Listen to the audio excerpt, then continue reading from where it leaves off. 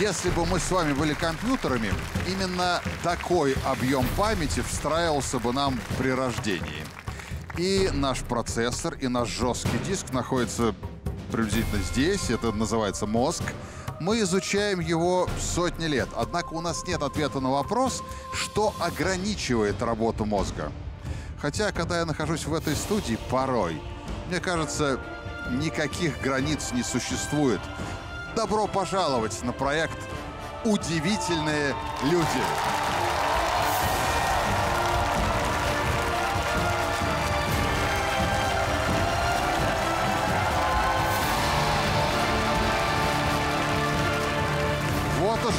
Три года наш проект знакомит вас с самыми удивительными людьми из России и со всего мира. В этом сезоне мы решили выяснить, кто же из них был самым удивительным. Поэтому нас с вами ждут поединки с участием звезд прошлых сезонов. Кого мы увидим сегодня, я расскажу чуть позже. А сейчас нас ждет встреча с новыми героями, которые готовы бороться за выход в финал. Напомню, главный приз – миллион рублей. Голосование за лучшего в руках зрителей. А вот подсказать и направить их всегда готовы звездные гости. Внутри нашего проекта постоянно действует детективное еженедельное бюро Ольги Шелест, сокращенно Дебош. Поприветствуйте его основательницу, телеведущая Ольга Шелест. Рядом с дебошем вы всегда можете наблюдать череп. То есть чрезвычайную естественную радость Евгения Папунаишвили. Хореограф и телеведущий Евгений Папунаишвили. А рядом с черепом находится Нюра. Хм. Наталья Юрьевна Рогозина абсолютная. Ведь это абсолютно чемпионка мира по боксу Наталья Рогозина. Нюра. Ну и, наконец, мое любимое сокращение «Чистое познание от профессора Ключерева». Сокращенно ЧПОК. Эксперт проекта, директор Института когнитивных нейронаук Василий Ключерев. Пять участников, пять выступлений, пять причин открыть для себя что-то абсолютно новое. Мы начинаем. Приготовьтесь удивляться.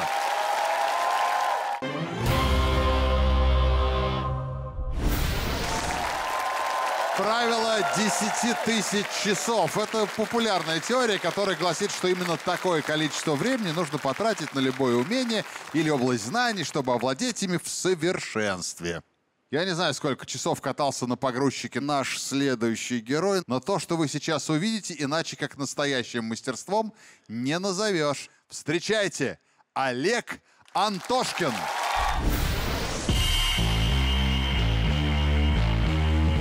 Меня зовут Олег Антошкин, мне 39 лет, я из Санкт-Петербурга. Техникой увлекся 14 лет, потому что мы с ребятами во дворе начали помогать дяденькам ремонтировать машины. А ездить на машине я научился в 16 лет. Я мог уже самостоятельно разобрать и собрать двигатель. Да что там двигатель, я мог починить уже всю машину целиком. И 16 лет я пошел работать, и буквально же во второй день меня посадили на погрузчик. За свой многолетний опыт я работал на всех видах погрузчика и любой модели. Когда я мастерски стал управлять погрузчиком, я понял, что погрузчик можно использовать не только по прямому назначению. И я начал участвовать в соревнованиях. Да-да, есть такие соревнования среди водителей автопогрузчиков. И я уже неоднократно становился призером этого чемпионата. И я хочу показать всем, что мужчина должен ездить на любой технике и уметь ее отремонтировать. Работа мне очень нравится. Я думаю, это стиль жизни моей. Или смысл жизни, скажем так.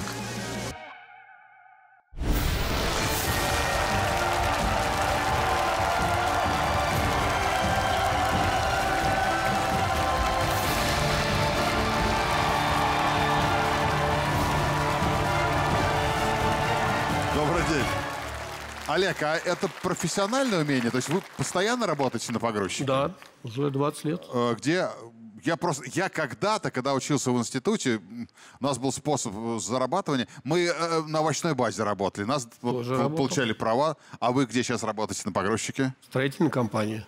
Понятно. Сколько часов наезда?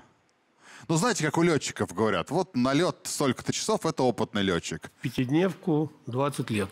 Как посчитать? Ну да, ну да. То есть это нам нужен какой-нибудь еще один удивительный человек, ментальный арифметик, который в состоянии это посчитать. То есть огромный накат, наезд. Понимаю. Ну что ж, способен ли человек синхронизироваться со своей машиной настолько, чтобы выполнять задания ювелирной сложности? Узнаем вместе с Олегом Антошкиным. Задача, которую мы поставили перед Олегом, звучит крайне просто. Нужно взять бокалы с одной тумбы, перенести на другую и построить из них башню. Только сделать все это нужно с помощью погрузчика. Да не.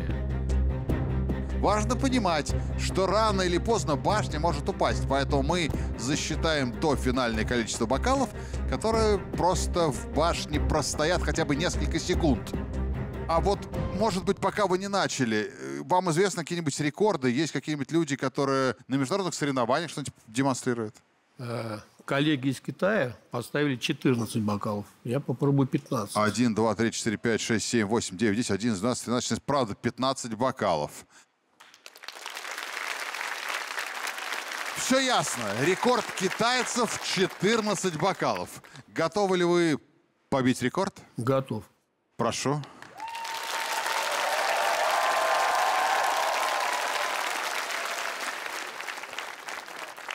Олег уже за рулем. Ух ты, ремень безопасности. Это значит, что начинаются испытания для Олега Антошкина.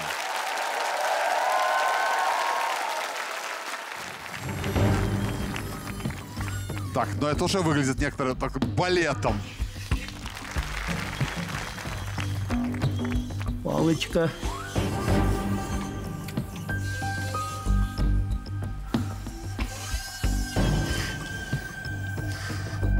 Мамочки.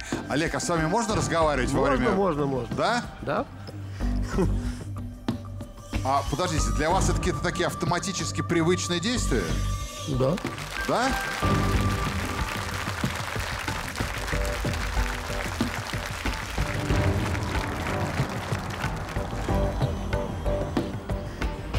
Просто Олег, а вы вообще сколько раз пробовали такую пирамиду устроить? два. Всего два? Да. А оба удачных подхода было? Нет. Нет? Интересно посмотреть. Самому интересно.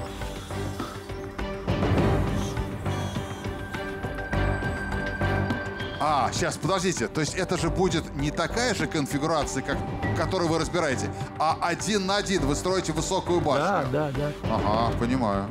Там, кстати, действительно дополнительная проблема. Нужно, чтобы они точно вертикально стояли. Да. Ну, вам виднее. Я-то электрокарщик не настоящий. Это прям...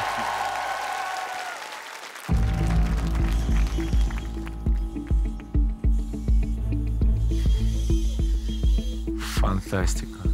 Ну, Это очень круто. Круто, круто. Очень.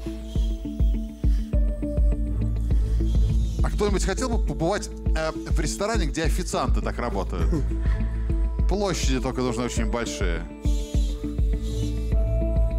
Олег, ну вот эта вилка, которую вы используете, это специальное приспособление. То есть на самом деле нету такого штатного прибора, да, на, Нет. на погрузчике? Нету, нету. Ага. А, видишь, у них там вилочка специальная для бокала.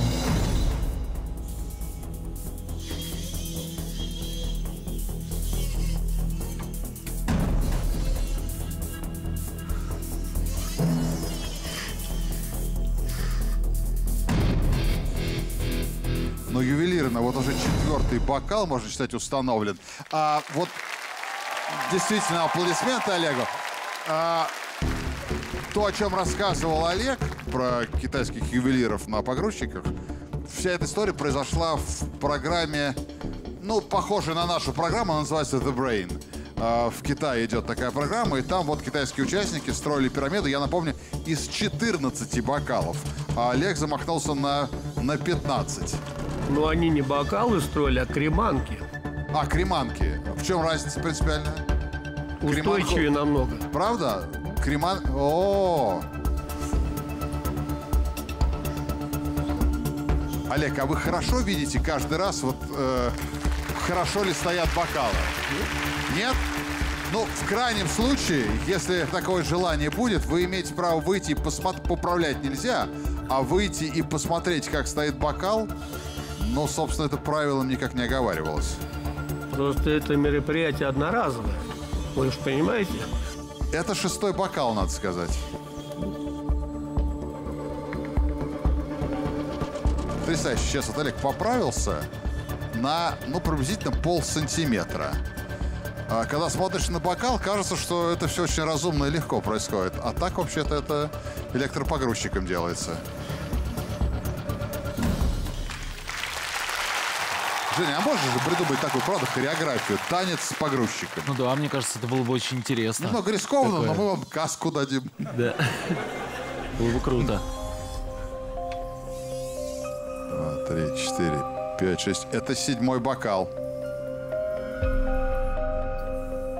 Ой, Ой, тихонечко, тихонечко.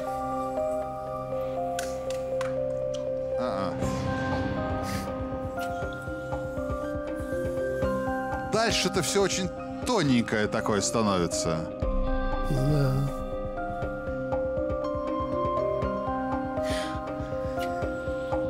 Ай, И уже ай, да. да что ж такое-то, а?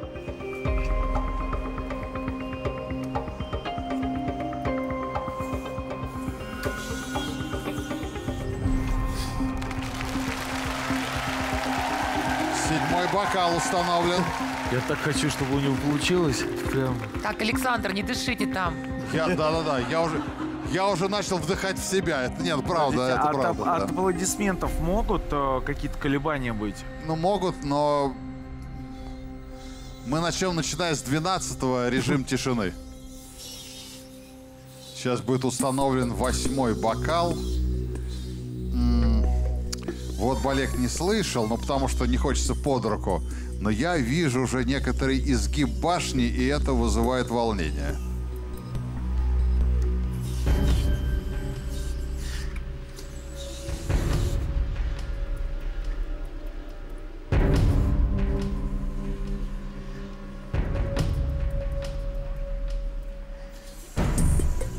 Восьмой бокал установлен. Ну, то есть уже становится понятно, что это такая кажущаяся легкость происходящего.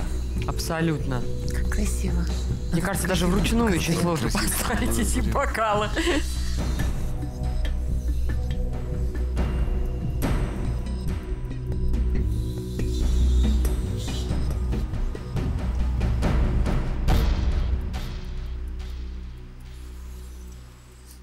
Девятый бокал. Девятый. Да, кривовато.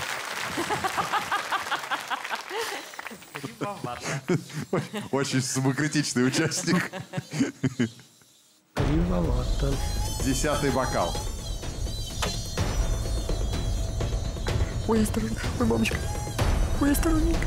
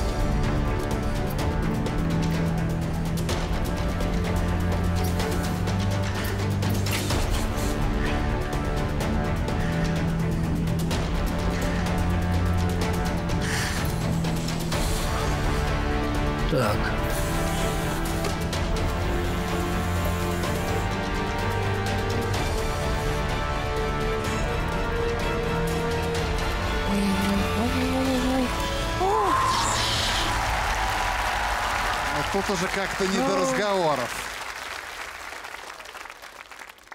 Кривовато. 10 бокалов. Так, не торопитесь. Аккуратненько, бокалы берегите. Сам боюсь.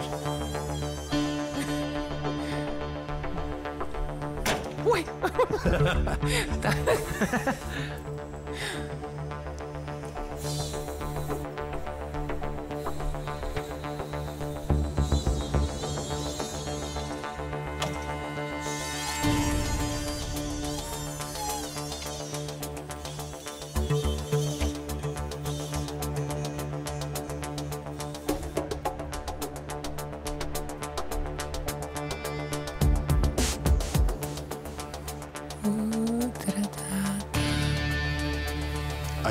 Одиннадцатый бокал почти установлен.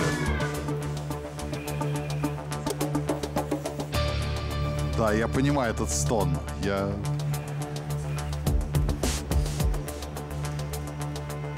Вот, вот, вот, вот, да.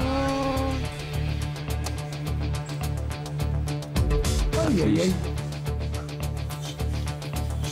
Мне кажется, что самый спокойный человек в студии это Олег. Да, Так мне кажется. Тихо, тихо, тихо!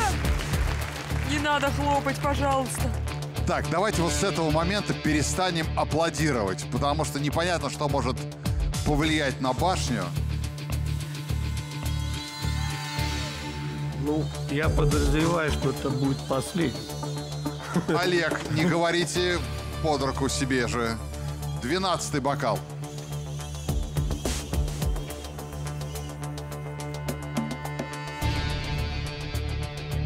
Ай-яй-яй-яй.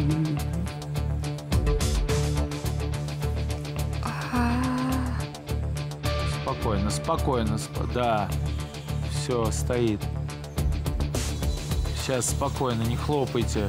Ну, двенадцатый зафиксирован, потому что уже долго стоит.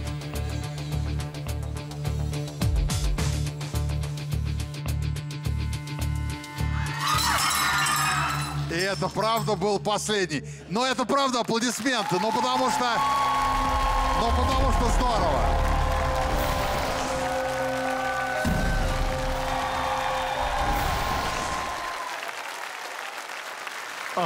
Олег, смотрите под ноги.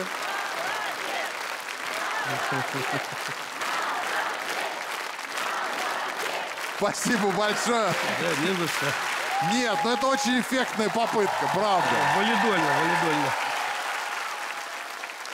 Ну что, устали? А? Устали? Перенервничал. Ну я, не, я понимаю, по вам невозможно было это сказать. Неужели такая тонкая настройка у погрузчика, что я видел, вы просто по миллиметру двигали. А, это у, у- у любого или это какой-то специально настроенный погрузчик? Ну, обычный погрузчик. Ну, конечно, не удалось побить рекорд, но для всех, для нас и для зрителей канала вы, конечно, герой и человек удивительный. Спасибо. Спасибо вам.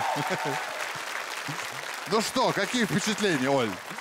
Но, но вообще, это же не зря говорят, что можно бесконечно смотреть на три вещи, да, как течет вода, горит огонь и как работают Как другие, работает, да. да, да. Поэтому это, Нет, это когда можно было когда смотреть хорошо бесконечно. работает. А, их- когда, конечно, когда хорошо работает, когда ты даже не хочешь вмешиваться, а, потому что работает профессионал. Очень жалко, конечно, что не получилось рекорда, а, но тем не менее это, это правда было а, такое хрупкое, завораживающее э, зрелище. Это было очень красиво. Это правда был танец. Да. Танец с бокалами. Спасибо большое. А вы на этом погрузчике работаете обычно? Ну да, ну я как бы начальник, я на них уже и не езжу. Ну, то есть, ну, то есть вы гнали его своим ходом с работы? Нет, это предоставила редакция. Подождите, а, это так, не стойте, ваш? подождите. Я думал, что это ваш личный. Это- Нет. Нет, то есть это предоставленный? Да. А, а что бы было, если бы это был свой собственный, подогнанный Я под, была под уверена, ладонь? когда уже ты знаешь, да, все Да, ручки, да, все да, дребезжания. Браво. Здорово. Это, нет, это, это вот, это нужно было об этом узнать. Это интересно. Жень, Я б- под сильнейшим впечатлением. Это не просто там вы меня удивили, я под вообще невероятным впечатлением. И а, такое испытание, это точно впервые. У нас никогда не было ничего подобного. Мне бы хотелось бы увидеть что-то еще более невероятное от вас. Вы для меня прям лично какой-то однозначно один из фаворитов а, на выход в финал. Спасибо вам большое. Спасибо, Жень. Наташа. А я тоже так могу. Нет. Вы знаете, друзья, на, сам- на самом деле, Олег, а, бокал – это больная тема для меня. Когда ко мне приходят родственники, друзья, кто-то разбивает бокал, я готова их убить. Скажу честно. Скажу честно, за что? Потому что бокалы красивые, но не в этом дело. Я так переживала, вы не поверите, я же спотела чуть-чуть. Но я вот думаю, что не хватало там шампусика. Если там был бы шампанское, вы бы построили сразу башню Эйфелевую. Что, Александр? Я просто внимательно Нет, с слушаю. утяжелителем, я считаю, Конечно, было бы попроще. было проще и лучше. Олег бы стал бы, как и есть сейчас, удивительный человек. Спасибо. Аплодисменты вам, Василий Андреевич. Я просто не могу преодолеть это все впечатление, потому что, по-моему, впервые за четыре сезона я вскрикнул в конце. Да? У меня такого не было ни разу, это было невероятно. То есть я нас- по-настоящему потрясен. А, И надо сказать, что мысль, которая меня не оставляла, она была связана с моей работой. Мы на самом деле работаем над тем, чтобы объединить мозг человека с машинами, с роботами. И передо мной был идеальный человек, уже объединенный с машиной. И это, мне кажется, вы действительно удивительный человек. Это, это потрясающе. Спасибо, Василий Андреевич. Спасибо. Олег Антошкин, удивительный человек. Спасибо вам еще раз. Спасибо. Слушай, он прям один, мне кажется, из фаворитов. Я, мне, мне кажется, в финале может быть безумно Может, да, интересно. да, да, да, я думаю, что может. Сможет ли Олег сегодня погрузить самого себя на первую строчку по итогам выпуска? Узнаем уже скоро. Это «Удивительные люди», новый сезон. Мы продолжаем.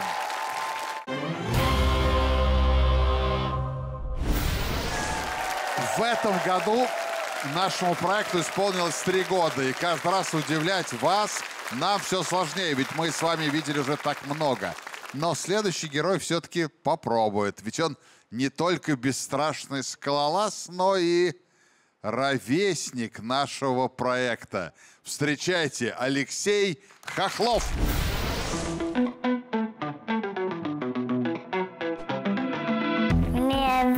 Алексей. Я скалолаз. Начинали мы заниматься с одного года и четырех месяцев. Я даже в шутку всем рассказываю, что ребенок еще толком ходить не научился, а лазать уже начал. Я сам а, специалист в этой области по скалолазанию. Занимался 13 лет этим видом спорта профессионально, имею звание мастера спорта. Поэтому я его потихонечку, уже где-то в два года и три месяца, потихонечку начал приучать к страховке. То есть мы начали кататься. Он залазал, отпускал руки и как на качели катался на тарзанке.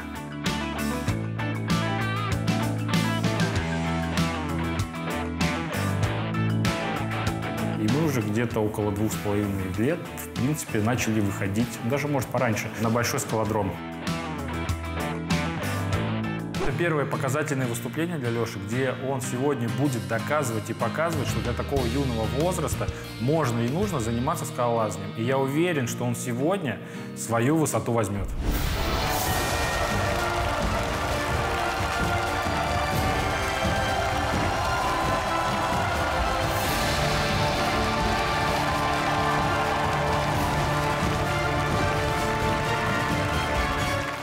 Здравствуйте. Здравствуйте. А кто... Здравствуйте. Здравствуйте. А кто из вас Алексей? Я. Здорово. Здравствуйте. Ух ты! Му- Мужское рукопожатие. А как папу зовут? Папа Вова. Папа Вова. А, папа Вова. А кто будет э, демонстрировать чудеса? Вот это юное создание. Вопрос, как вам пришла в голову эта безумная идея и где мама?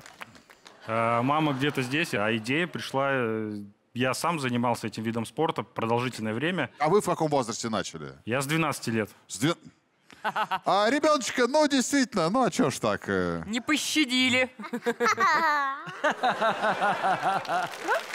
Ну, чудеса. А можно ли в три года не просто пройти скалолазную трассу, но и сделать это вслепую? Проверим вместе с Лешей Хохлобом. Хороший такой. Леш, я тебе честно скажу, значит, это такой драматичный момент должен быть. Я пытаюсь атмосферу создавать серьезно, а ты, ля-ля-ля, ты как-то легко к этому относишься. Сделай суровое лицо, чтобы телезрители видели, что впереди серьезное испытание, подвиг. Вот лицо героя, сделай нам лицо героя.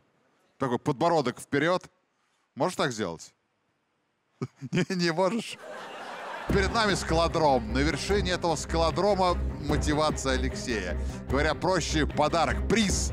К нему ведут пути, отмеченные разными цветами. Сейчас я попрошу одного из звездных гостей выбрать цвет, после чего Леша постарается запомнить маршрут и, внимание, пройдет его вслепую. Кто выберет трассу для восхождения? Вообще, я полагаю, женщина-мать, конечно, должна это сделать. Вы Да, не поверите, но мой муж занимается, это болдеринг называется, по-моему, да? Как? Болдеринг. Да? Вы знаете Правильно? такое Да, слово? болдеринг. Конечно. У меня занимается этим муж, и он тоже хочет приобщить к этому детей. А, И наша пятилетняя дочь, она тоже уже пытается все это э, как-то как пройти. Но я знаю вот эти вот все мармеладки, называет моя дочь, вот эти штуки. Можно я пойду посмотрю Да, да. И выберу самую сложную? А вы хотите тактильно выбирать? Мы надеялись по Нет, я, цвету. я- я примерно знаю, за какие можно а, легко зацепиться. Вот, например, а, вот эта розовая а, трасса, она, ну, скажем так, а, легкая. Я вам объясню сейчас, Александр, почему. Почему? А, потому что за нее очень легко вот ухватиться. И она практически вся одинаковая, то есть здесь а, можно и ногами, и руками за все хвататься. Я, я никогда А, этого не трогал, на самом да, а если вот, например, вот, посмотрите вот за это, вот как за нее ухватиться? Тут ногу ты еле поставишь, а рука вообще вот, это соскальзывают пальцы. Поэтому они все очень разные. Слушай, я А, только сейчас понял, а стена абсолютно вертикальная. Я как-то не- Абсолютно, не обращал на это внимания. А, так, Леш, давай, наверное, о, мозг, смотрите. Мне нравится вот этот мозг желтый. И, кстати, Да. он тоже достаточно сложный, потому что он такой обтекаемый, за него зацепиться сложно. Мозг скалолаза. Мозг, скалола... О, мозг скалолаза кипит, это такая Какие-то еще работа. шуточки. А, Я выбираю желтую трассу. м, Желтую трассу Да. с, с Я вижу на мозгом. ней такие пологи, вот такие вот штучки. Не то, чтобы я издеваюсь над ребенком, но как бы если мы хотим показать класс, да. а, Давай, желтая трасса. И Алексей очень уверенно выглядит. Да. Алексей, давай. Я желаю тебе удачи. Ты сто процентов справишься. А вот так, high five. И е Удачи. А, трасса выбрана. Надо бы, да, надо бы, Алексей, посмотреть на трассу, выслушать ваши рекомендации. Прошу. Ну, здесь какие рекомендации? Тут все трассы идут вертикально, а желтые изгибом идет трасса. Изгиба. Да, поэтому чуть вправо до мозга, чуть-чуть вверх и уходим налево по диагонали. Ты запомнил? Запомнил. Говорит, запомнил. Говорит, запомнил. А, а предстоит-то все-таки проходить трассу вслепую на самом деле. А самое, самое сложное, мне кажется, то, что очень много красных перемешано. Видите, и красных, и зеленых, а, на которые нельзя на- на- наступать, и за которые нельзя цепляться. Такой скалолаз. Ого. Вау. Не видно ничего? Ну, единственное, что, а, учитывая, что спортсмену три года, подсказки, Владимир, так и быть, мы готовы принимать от вас в небольшом количестве. Принял. Но немного, да. Готов? Полезли. Готовы? И испытание началось. Не подсматривать.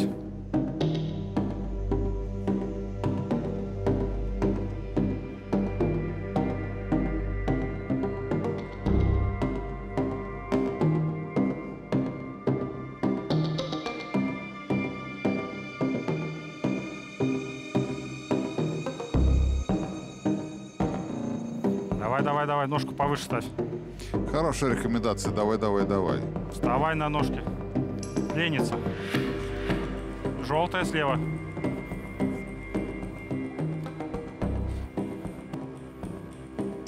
Так, до мозга так. Леша Лёха. добрался. Давай лезь.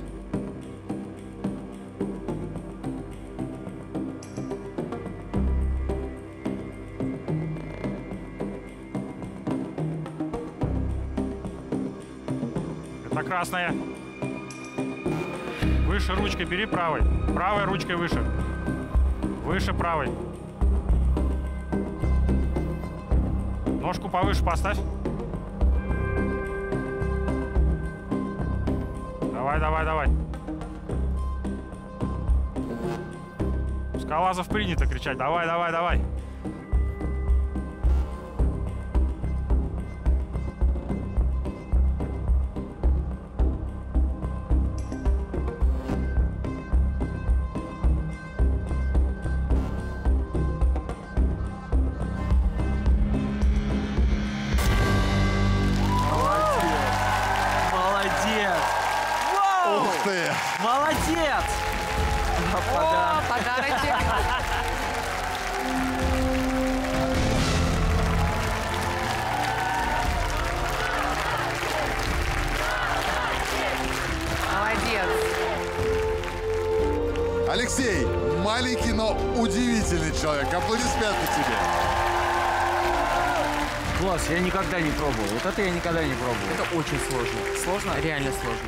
Все, снимай страховку, бери приз, иди к нам. Аплодисменты нашему герою. Леха. Ну чудеса, ну чудеса. Вот как ты думаешь, вот, э, вот этот красивый человек в белых кедах, он чем занимается? Я? Не, не. ты- Самый, самый красивый человек в белых кедах. Это ты, конечно, конечно. Но я имел в виду Женю. Вот Женя. Вот как ты думаешь, он чем вообще занимается? Он? Да. Он тоже занимается коллажами. Ты думаешь? Да, думаю. Жень, вы занимаетесь скалолазанием? Никогда, вот я, это, пожалуй, одно из немногих вообще, э, чего я никогда в жизни не пробовал. Э, а можно хотя бы на один метр попробовать? Вы меня подстрахуете? На, на два. Леш, поможешь мне? Да. Пойдем. Женя. Я аккуратно. Ну, я- думаю, Я, правда не никогда не пробовал. Привет, мой хороший. Привет, дорогой. Приветствую. Так, Подожду а, пока. а мы пока будем здесь разбирать Жень, я тебе же сказала, как лезут Женя, настоящие берегите себя. скалолазы. Подтянулся на ручках. Только за желтые. Только за желтые! А это уже задание для дальтоника. Ну все, все, выше не надо. Женя, слушайте, Жень, это прям, вы вниз, высоко. же самое вниз. это прям, я вам хочу сказать, это прям сложно. Я могу сказать, это элегантно было. Круто. Спасибо большое. Это было элегантно, правда. Ты видел, как смешно это было? Скажу, что я в восторге. Друг наш, ты большой молодец. Ты умница. Три года — это, ну, совсем еще прям юный возраст. Ну, прям Это совсем. небольшой человек, А да. тут уже в три, а, и это, я так понимаю, у него потрясающая память еще, да? Вы развиваете это как-то, Ну, помимо на- физических? Ходим на занятия на дополнительные, да, занимаются А вы к чему-то готовите его? Вы... к Олимпийским играм 2032 года. О, Да вы что? А, мне просто любопытно, это сейчас такая фигура речи, или вы на полном серьезе хотите? Не, на полном серьезе. Э, а есть раз такая олимпийская дисциплина Да, с скалолазание? 2020 года нас, скалолазов, включили в, в систему Олимпийских игр, и уже ровно через год в Токио мы будем э, показывать. Серьезный план. Я желаю вам удачи. Спасибо. Вы, помимо того, что потрясающий у вас ребенок, который нас удивил, я всегда считаю, что в данном случае вот удивительные люди, родители также, которые вот... Спасибо большое. Спасибо вам. Спасибо, Жень. Наташа. Ну, я могу сказать, что когда у меня а, в первый раз Ваня попробовал скалолазание, в пять лет это было, я боялась. Ну, бокс-то попроще, конечно. Бокс, да. Но дело в том, что а, я за то, что в таком возрасте, даже в маленьком, мальчиков приучают к спорту. Потому что вот дай бог, чтобы он выс- выступал в дальнейшем на соревнованиях, побеждал, и мы будем гордиться им. Дай бог. Спасибо. Да, вы большой молодец, ребенок такой замечательный, прям чудо. А, видно, что такой будет спор- спортивный, энергичный, и у него хорошо получается. И вы меня удивили. Спасибо. Спасибо. Спасибо, Наташа. Оля, Но я вот единственное, с чем не соглашусь, это с тем, что мне не нравится, когда растят олимпийских чемпионов. Мне кажется, что у ребенка должна у самого быть эта искра, быть эта страсть, а, потому что большой спорт это, конечно, очень жестко. Но могу сказать, что а, не понаслышке знаю, поскольку мой муж тоже этим занимается, это абсолютно свободные люди. Это люди, которым по плечу любая стена, а, люди предельно спокойные в любой а, критической ситуации. И это а, невероятный такой внутренний стержень нужно иметь, чтобы лезть по а, этой отвес- ответственной скале. И такое а, качество, конечно, очень важно прививать а, детям, неважно, мальчикам и девочкам. И а, отдельный просто действительно а, респект Алексею, потому что а, я правда знаю, что это такое, пройти для трехлетнего ребенка просто эту трассу, а пройти ее вслепую, это, это просто вообще, это, это, это, это запредельно, правда. Спасибо, Оль. Василий Андреевич, ваше впечатление? Я вот тут добавил к тому, что говорит Ольга. Сейчас огромный интерес у ученых к скалолазанию. Вот там не зря мы видим мозг, потому что скалолазание, судя по всему, невероятно помогает людям. Детям помогает концентрироваться при расстройстве внимания, контролировать себя. Иногда, иногда скалолазание прописывают для лечения даже депрессии. Серьезно? Да, и надо сказать, что скалолазание даже учат э, социальным навыкам. Надо ведь учиться доверять другим людям, учиться координировать свои движения. Поэтому это невероятно интересный вид спорта. А я хотел спросить папу. Вот я понимаю, что все мои коллеги такие худенькие, спортивные, они смогут. А вот такой полный профессор, как я, он может заниматься скалолазанием? Легко. Легко. Конечно. Это же Только спорт, где можно стене. научиться умение располагаться. То есть я И тоже смогу? да, да, да. Огромное спасибо. Не ожидал от вас этого пассажа. Не ожидал. Ну что, э, на самом деле вы действительно произвели на нас сильное впечатление. Алексей, спасибо тебе большое, мы тебе очень благодарны. Мы тебе желаем больших-больших успехов. Ты, Алексей Хохлов, удивительный человек. Молодец, пока.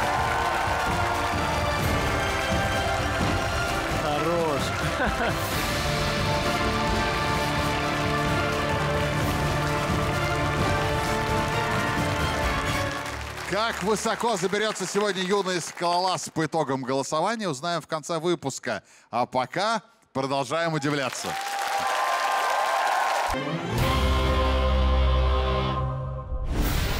Если бы у Василия Андреевича Клещерева были шляпа и револьвер, мы могли бы назвать его Индиана Джонс.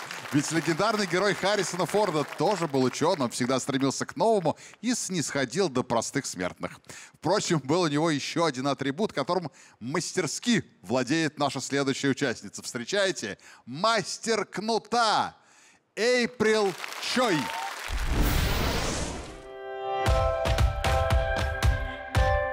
Привет, меня зовут Эйприл Дженнифер Чой. Мне 33 года. Я из Пиории, штат Иллинойс, США. Когда я училась в школе, я хотела заниматься инженерным конструированием, потому что мне очень нравилась математика. Поэтому я получила степень магистра по гидродинамическому моделированию. Меня всегда восхищал космос. Еще когда была маленькой девочкой, мне было интересно, что там, и космические объекты, которые больше нас. И я так радовалась, когда меня пригласили поработать над космическим телескопом Джеймса Уэбба. Когда я училась в колледже, я занималась танцами. Меня приняли в группу. В итоге я стала инструктором по танцам, а также вице-президентом нашего местного танцевального клуба. Однажды я работала преподавателем танцев на цирковом фестивале. Помимо других занятий были уроки обращения с кнутом. Я стала заниматься, познакомилась с инструктором, и мы стали хорошими друзьями. Он научил меня многим приемам. На сегодняшний день я поставила несколько мировых рекордов и около дюжины рекордов Гиннесса, большинство из которых по количеству щелчков кнутом. Я приехала в Россию, чтобы показать вам такое, чего вы раньше никогда не видели.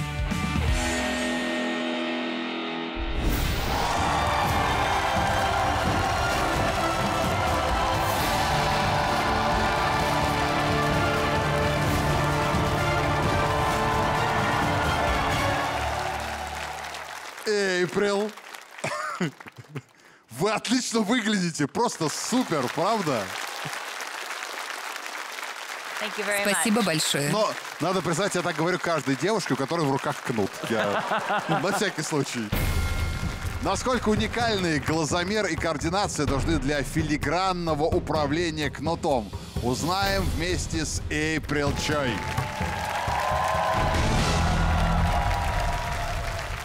Давайте перейдем к испытаниям. Первый этап испытания. Назовем его романтический ужин. Сначала Эйприл с помощью кнута должна сорвать три цветка. После этого погасить три свечи. А после разбить три яйца разных размеров. Вот Романтический такое, ужин. такое развлечение. Эйприл, вам понятно задание? Yes. Да. Эйприл, прошу вас.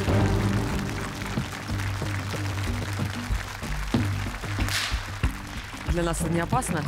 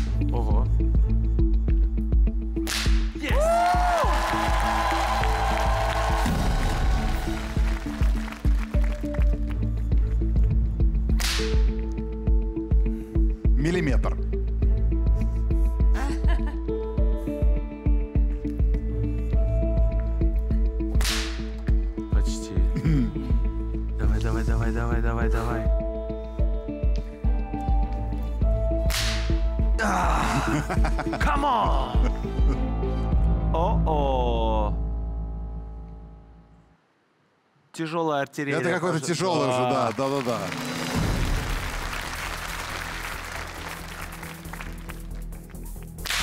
Ого! Ого! Держи себя в руках, Женя. Мне нравится.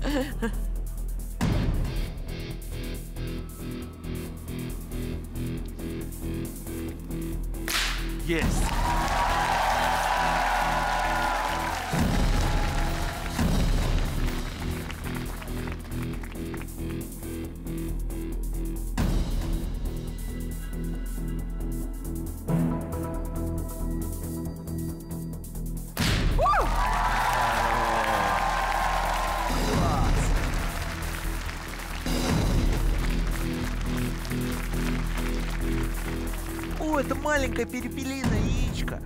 Хорошо, что вы узнали его. Сразу. Да, небольшое, да. Чуть-чуть. Да, прям в миллиметрах Да, да, проходит. да, прям вообще.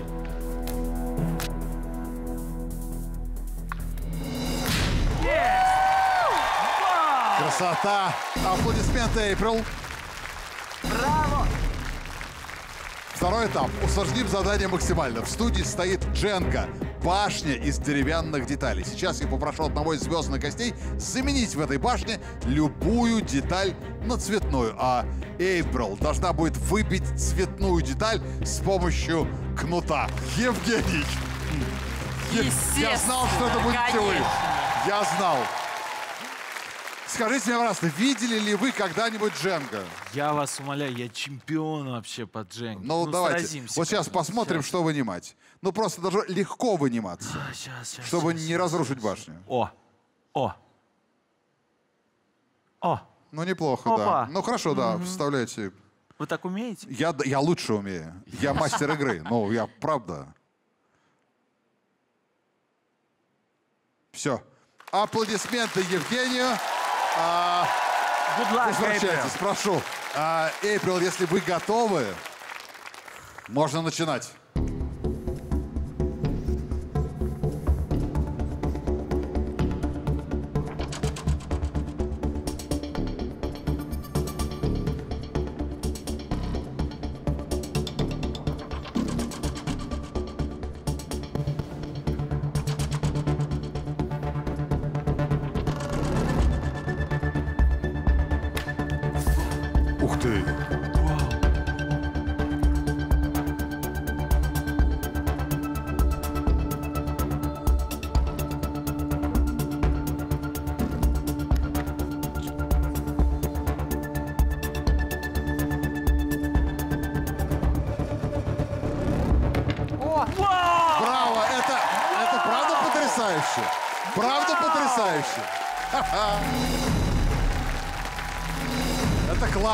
Это очень классно.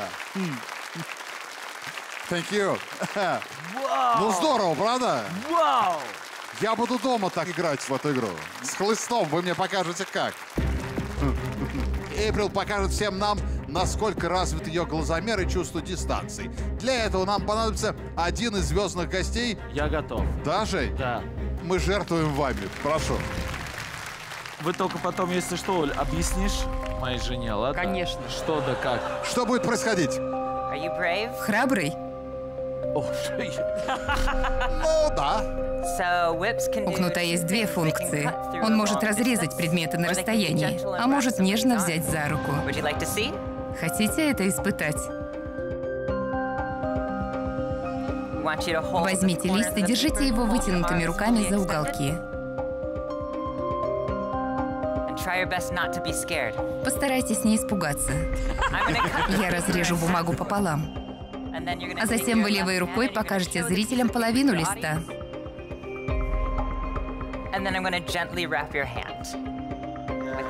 И потом я нежно схвачу вас за руку кнутом. Жень, каково? Он даже русский забыл, видите? Готовы? Be brave. Eugenio.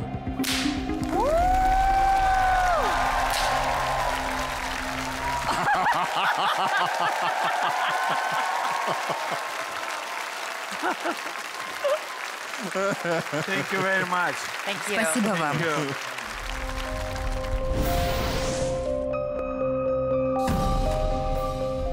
Жень, wonderful. Жень, спасибо, вы спасли Спасибо, программу. спасибо. Спасибо, спасибо, Жень. Спасибо, вам аплодисменты. И аплодисменты Эйприл. Это было классно, правда?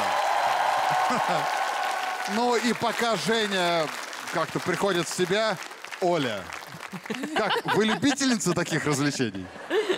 Я прям представил, Оль, тебя. О, я сейчас возьму кнут, да, покажу Ой, а, тебе. кстати, я могу попробовать? Где раки зимуют. Не надо, можно Ку- себе... куда э, это А можно мне попробовать? Если вы хотите, да. Можно нанести себе увечья, Александр.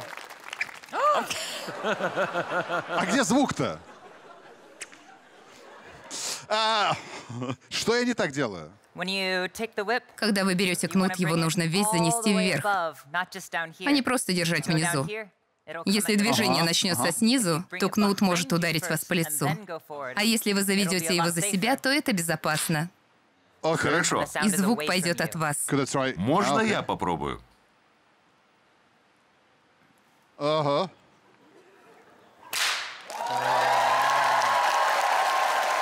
Thank you. Спасибо. Yes, Вы фантастический coach. Тренер. Можете выступать, Александр. С кнутом.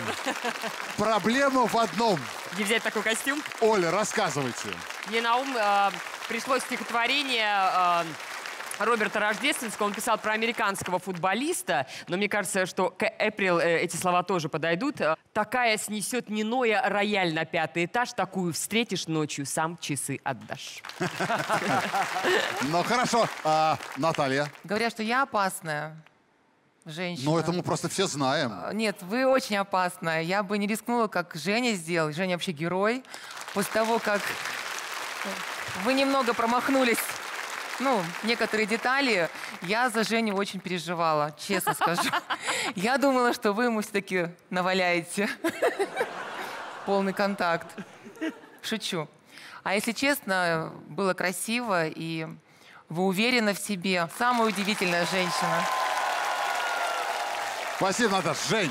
А, ну, во-первых, а, безумно приятно познакомиться, Эл- Э- Эйприл, с вами. А, Настоящее украшение нашего проекта. Да, это В- правда. Это правда. И а, немножко, а, даже не то, что в защиту, вас точно не нужно защищать, но немножко обидно, что а, сразу не получилось некоторые предметы сбить. Но мне кажется, в этом прелесть, в том числе нашего проекта, что а, какие-то вещи, особенно такие сложные, они, может быть, там не сразу не с первого раза получается, это говорит о том, что проект очень живой. И, э, ну, участвуют нормальные люди, не роботы, э, которые могут иногда ошибаться. Спасибо вам большое, Эйприл, спасибо.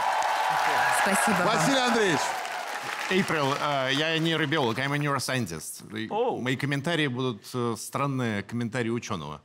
Эм, Я хотел вас спросить, а какой частью кнута вы, например, э, разбиваете яйцо? Uh, for the egg, it's actually through this section This right one. Для яйца вот Yeah. эта часть. There's actually little knots На ней на самом деле маленькие узелки. Эти узелки Um, разгоняют кончик до достаточной скорости, чтобы разбить скорлупу. Почему я спрашиваю? Потому что для нейробиолога это фантастический пример невозможного действия.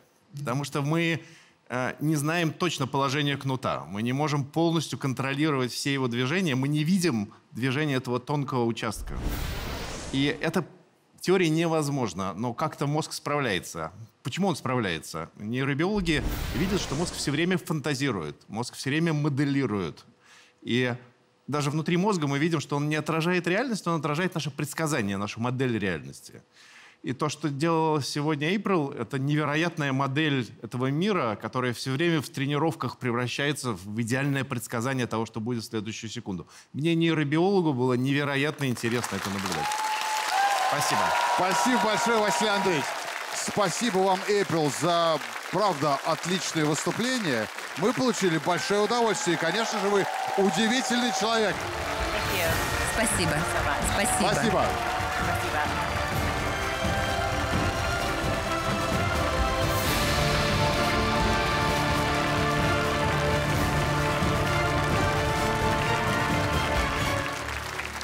Эйприл еще наверняка не переводила миллион рублей в более знакомую ей валюту, но точно сделает это, если попадет в финал. Случится ли это, узнаем в конце выпуска, а пока продолжаем удивляться. Все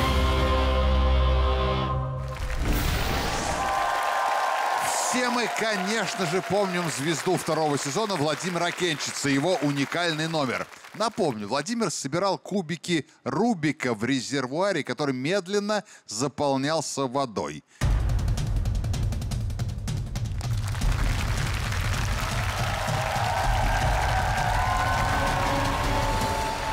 Наш следующий герой решил пойти еще дальше, а вернее будет сказать заплыть глубже. Встречайте, подводный спидкубер Вако Марчелашвили.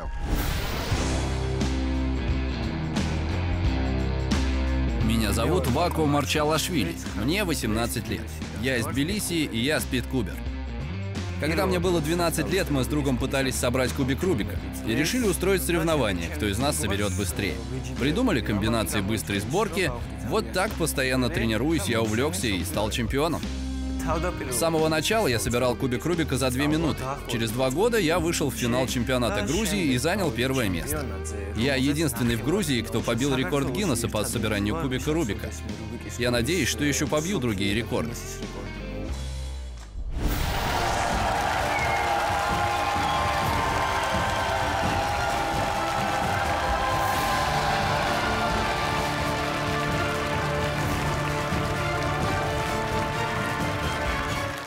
Вако Гамарджоба. Здравствуйте. Рогу Рахар. Очень хорошо. На этом, собственно, мой грузинский заканчивается и переходит в область кулинарную и гастрономическую. Я название блюд только знаю. Скажите, пожалуйста, вы давно занимаетесь спидкубингом? Да, давно. Приблизительно 7 лет. Но то, что я собираюсь сделать сейчас, в мире еще никто не делал. Способен ли человек собрать головоломку в условиях кислородного голодания? Узнаем вместе с Вако Марчелашвили.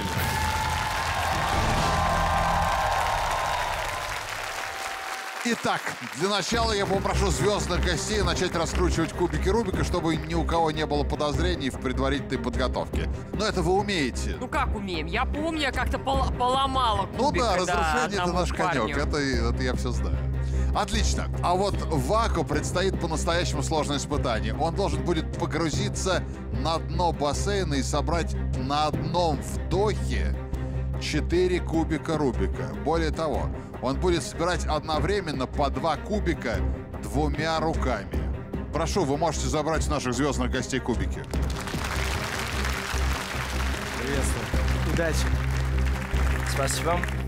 Спасибо. чтобы ни одна сторона не совпала, это целая история.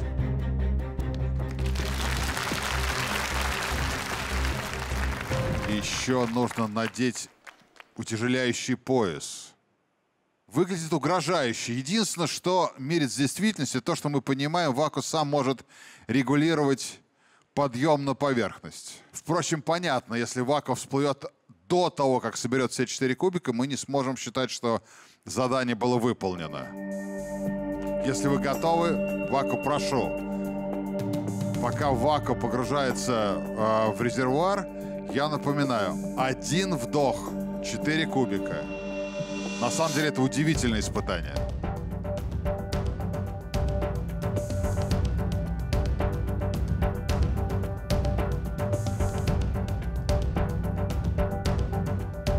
А кубики же всплывают, поэтому специальная полка, под которую кубики подсовываются, для того, чтобы они не могли всплыть. Красиво, да?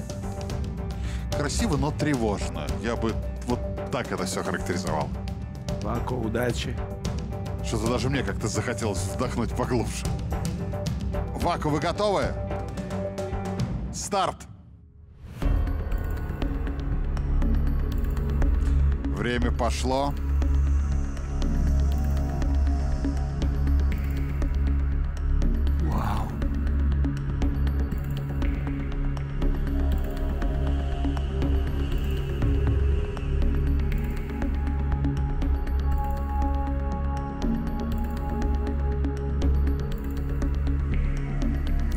Больше 30 секунд под водой.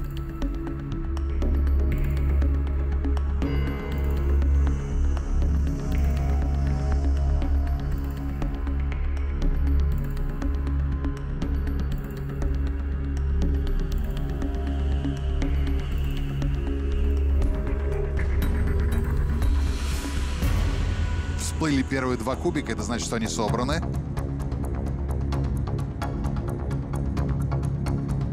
Прошло больше минуты, еще не было, как вы понимаете, ни одного вдоха.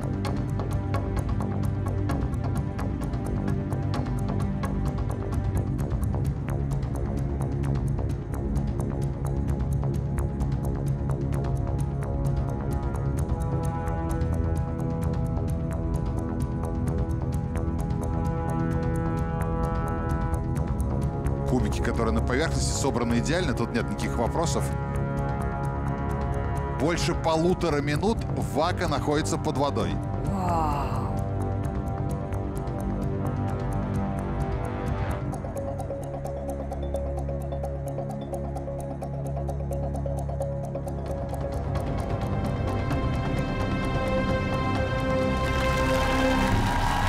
Это потрясающе! Это потрясающе!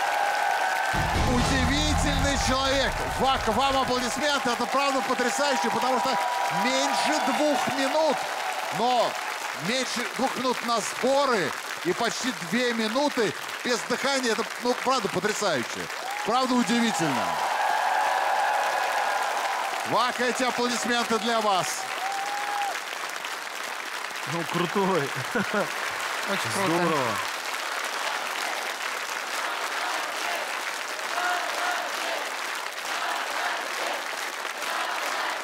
Это правда потрясающе, это было очень тревожно, это было волнительно, и это потрясающе эффектно. Сразу вопрос, как вы себя чувствуете? Хорошо. Это слово я знаю, каргат. Что-нибудь подобное когда-нибудь вы делали уже? Такого я еще никогда не делал. И, по моему мнению, никто не сделает. Ну, еще раз вам аплодисменты. Скажите мне, пожалуйста, вы занимаетесь фридайвингом или это просто какое-то случайное совмещение разных умений? Нет, не занимаюсь. Просто иногда в воде тренируюсь для того, чтобы хорошо собирать кубик. А без кубика могу и на 5, и на 6 минут задерживать дыхание. Это правда потрясающе. Ну и пойдемте к нашим звездным гостям. Есть ли у вас какие-то вопросы к Вако? Ну, вопросы есть, но мне э, сначала, конечно, хочется сказать, что мне безумно приятно, что э, вы участвуете в нашем проекте. Спасибо. А, Вы знаете, а, в нашем проекте уже было достаточно много а, испытаний, связанных с водой. А, Помимо кубика Рубика, мне вспоминается испытание, когда участник под водой в специальном бассейне играл в шахматы.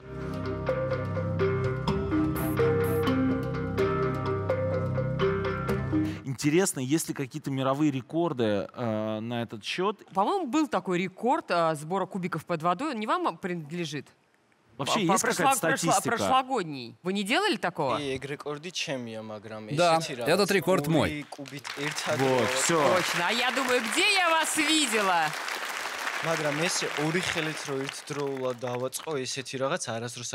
Но по две пары одновременно я никогда не собирал. То есть вы побили свой мировой рекорд? Я собирал пять кубиков поочередно, но двумя руками. Одновременно по две пары никогда не собирал. Да, да, да, я понимаю, здесь усложнение, невероятное усложнение, помимо того, что в принципе мозг работает и тратится кислород еще двумя руками. Вот это вот вообще, конечно, было нереально круто. Нет слов, правда. Вы удивительный человек, браво. Мне просто приятно, что я не побоюсь этого слова, мировые звезды, мировые Да, рекордсмены да. приходят на удивительные люди а, показать а, свои удивительные навыки и, я думаю, вдохновить а, еще больше людей на собирание кубика Рубика. Я думаю, этот кубик будет жить вечно. Спасибо вам. Спасибо. Наташ, Я честно скажу, что вы очень крутой, потому что а, на дыхании за две минуты, да, две минуты, или ну, даже меньше, около двух меньше, минут, да. меньше двух минут. А, я думаю, что вы могли бы, наверное, еще быстрее там собрать. Дома за минуту собираете? Не в воде я собираю приблизительно за минуту. Или за минуту 10 секунд. Понятно. А интересно, в воде стресс удлиняет процедуру, да? Наверное. Василий Андреевич, к вам вопросы теперь. Ну, мне кажется, вы абсолютно правы. Здесь самое сложное — это стресс. И стресс здесь и э, давящее на нашего героя время, и отсутствие кислорода. В такой ситуации мозг скатывается в такую паническую реакцию, и мы можем сделать только то, что автоматически приходит нам в голову. То есть нужен невероятный навык. И здесь, мне кажется, наш герой показал какие-то совершенно невероятные профессиональные способности справиться со стрессом. А, я только бы добавил, может быть, тому, что сказал Евгений, наша активность мозга потребляет огромное количество энергии и кислорода. Да? То есть мозг э, составляет примерно 2% веса нашего тела, а потребляет 20% всего кислорода. Поэтому Ого. неудивительно, что нашему герою было так непросто справиться с э, такой сложной ситуацией. Это было просто здорово. Спасибо, Василий Андреевич. Вака, спасибо вам огромное, потому что это было очень здорово, очень эффектно, рискованно, сложно. Спасибо, что вы приехали к нам в гости. Спасибо. Спасибо большое. Спасибо. Вако Марчелашвили. Удивительный человек.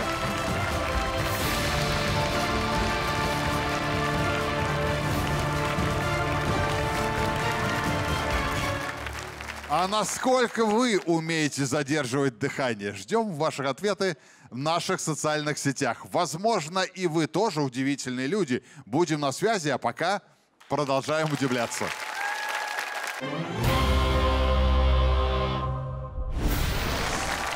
Перед появлением в студии следующего участника я просто обязан сказать со всей серьезностью. Никогда не повторяйте дома то, что вы сейчас увидите. Это смертельно опасно.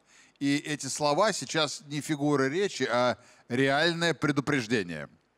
Потому что сегодня в нашем проекте вы увидите человека, способного управлять электрическим током. Встречайте, Биба Струя.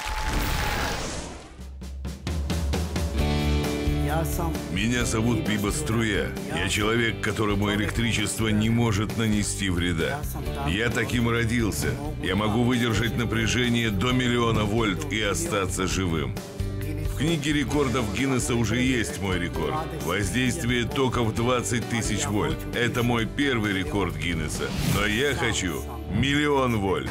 Я отличаюсь от обычных людей тем, что совсем не потею. У меня очень сухая кожа и не вырабатывается слюна. Из-за этих особенностей я плохо переношу жару. Я могу быть и изолятором, и проводником тока одновременно, что с точки зрения науки невозможно. Но это так. Я впервые в России и очень рад этому. Мне здесь очень все нравится. И моя цель показать все, что я умею и знаю. Мой талант.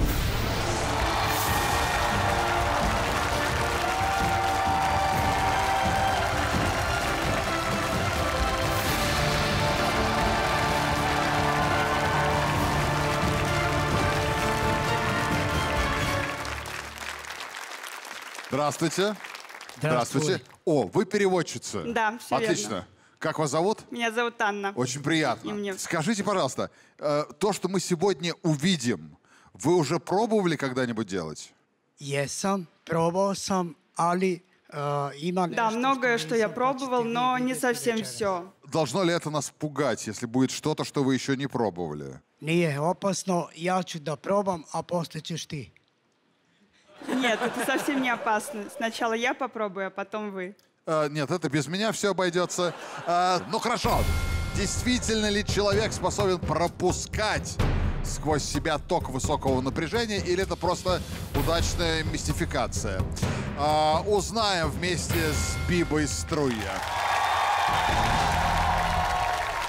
Итак, Биба утверждает, что способен держать в руках оголенные провода, по которым идет ток напряжением в 220 вольт. Чтобы проверить это, мы установили в студии две розетки, которые подключены к вольтметру. Мы покажем вам его значение на экране. Для начала мы попросим Бибу голыми руками подсоединить к сети электрическую лампочку. Если она загорится, мы поймем, что ток действительно идет через нашего участника. А, Биба, прошу, приступайте. Nego što počnem, ovo što budete vidjeli, molim vas da deca to ne probaju.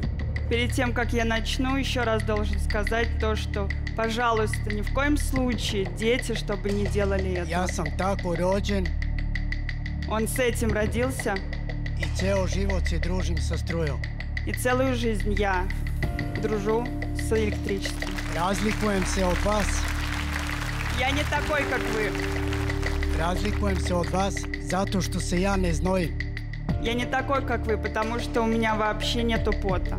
Я не потею. I predstavljam jedan dobar izolator. И он из себя представляет изолятор.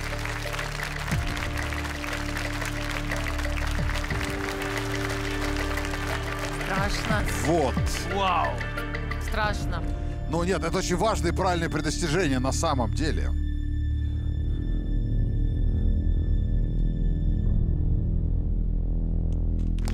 А, смотрите, вольтметр показывает 223 вольта. Ну, в общем, да, так и должно быть. Так и должно быть.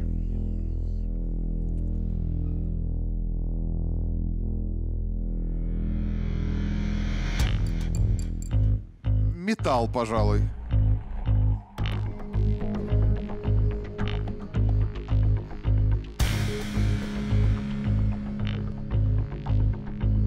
Два металлических штыря в розетке. Лампочка горит, и Биба продолжает держаться за эти штыри. А, Вау. честно скажу, как-то не по себе. Еще одна лампочка.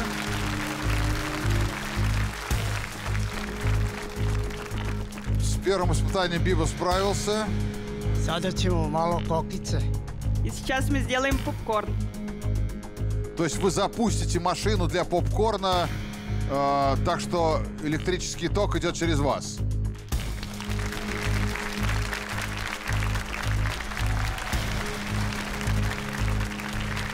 Как это он так делает, а?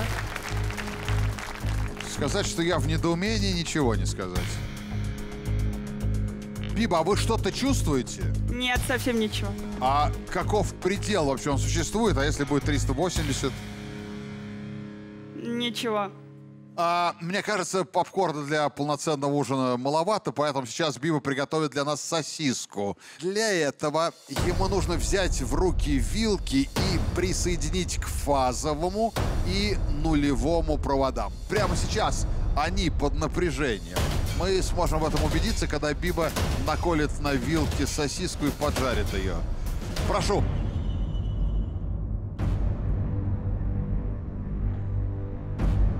Две вилки.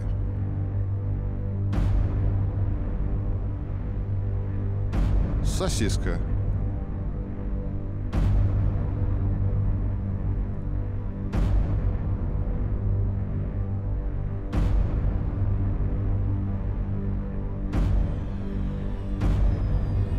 Зашипела. Мать честная. Пошел дым от сосиски. Ну или назовем его паром.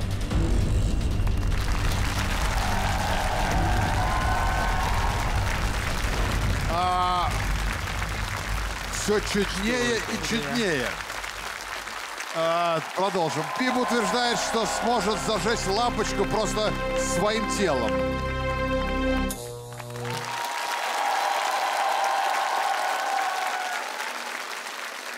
А, можете мне показать лампочку, Биба? Ну, во всяком случае, во всяком случае, я не вижу никакого выключателя. Хотите взглянуть? Ну, кто-нибудь? Да, конечно. Да? Пожалуйста.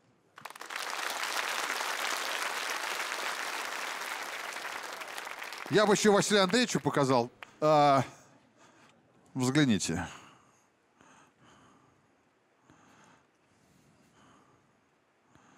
А, Биба, а можете еще раз? Još jednom da ponovite. Sa jezikom, još jednom.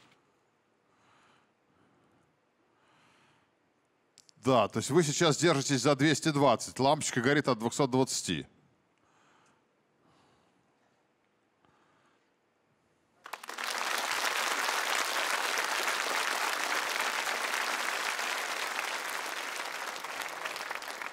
Ну, да, я, я не очень понимаю, что происходит. Ну что ж, друзья, я думаю, что среди вас по-прежнему есть скептики, которые предполагают, что все это какая-то грандиозная мистификация. Чтобы убедить всех присутствующих в своих способностях, Биба предложил нам следующее. По мнению Бибы, он зарядит себя электричеством и возьмет за руки тех из вас, кто не испугается. Как только цепь замкнется, все испытают легкое воздействие тока. Легкое. Биба обещал. В этом испытании ни в коем случае не могут участвовать, э, я сейчас не шучу, беременные, эпилептики и люди с кардиостимуляторами. Это на полном серьезе. Для всех остальных людей в зале у меня вопрос, кто готов? Ну, поднимите руки. Один я не пойду. Начинается. Пойдем попробуем. Выходите. Вот как-то целая группа звездных гостей отправляется. Не, Наташ, вы... Ну да, я с вами. Я с вами. А, вот это правильно. Нужно заботиться об оборудовании. Нужно снять микрофоны, иначе гостей-то звездных не так жалко, а микрофоны могут... Страдать. А чемпионка-то мира сидит. Я жить хочу. Мне только все начинается. Ну что, кто еще хотел? Ну прошу вас, прошу вас. Безумцы. Безумцы, точно. И все возьмитесь за руки, пожалуйста. А я с вами, Александр. Посмотрим. Начинаем.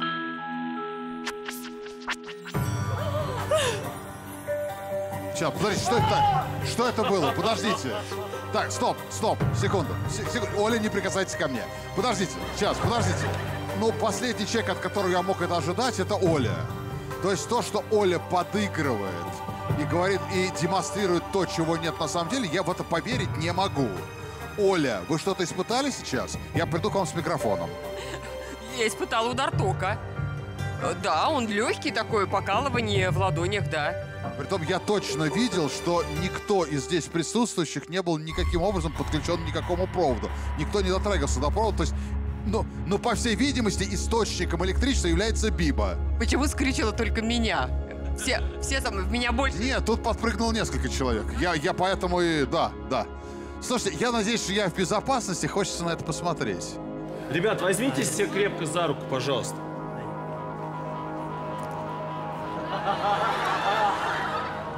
За руку возьмитесь. Не отпускайте Вот руки, кто-нибудь пожалуйста. там на трибунах что-нибудь чувствует? Потрясающе. А у вас что? Вы чу... Серьезно, вы чувствуете, что какой-то ток идет? Есть чуть-чуть, да. А, ну что ж. А вы хотите сократить круг? И тут я прохожу мимо.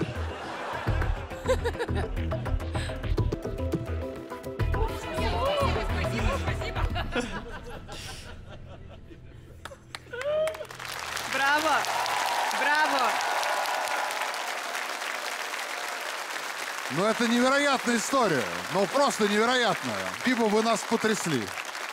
Просто потрясли. Как долго будет биться еще током? Вот а меня прямо от металлического браслета сейчас шарахнуло немножко. Da spava noćas. Лучше будете спать ночью.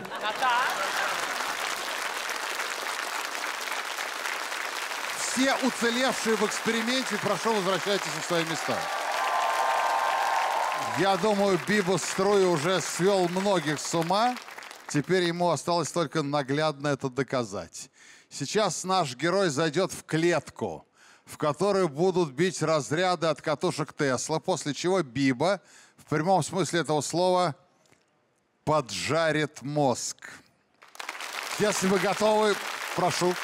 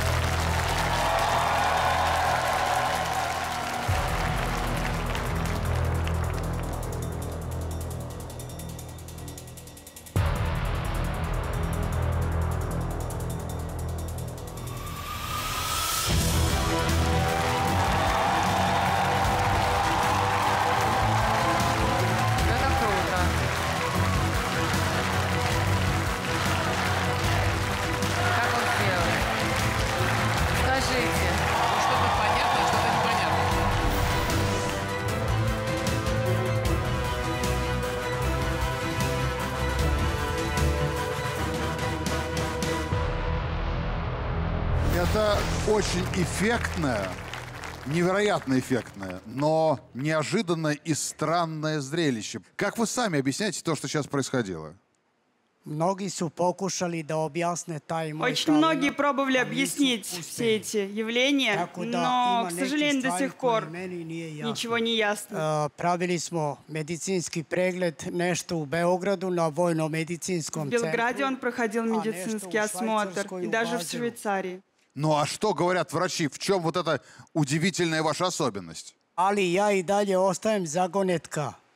Uh, po medicinskom, po naučnom, Он ja sam сам по себе является изолятором. Он Я вообще сам не потеет. Ну, я не знаю, как это связано с потением. Я видел, что вы не изолятор. Я видел, что вы еще и пропускали через себя электричество.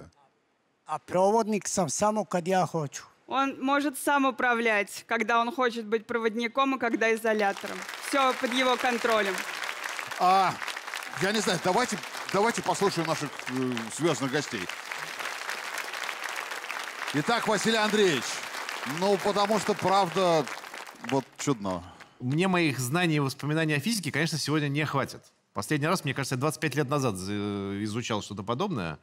Что-то, конечно, я могу понять, как ученый. И мне кажется, так, если я просуммирую, это смесь ваших уникальных способностей. У вас действительно, вероятно, слабая проводимость кожи.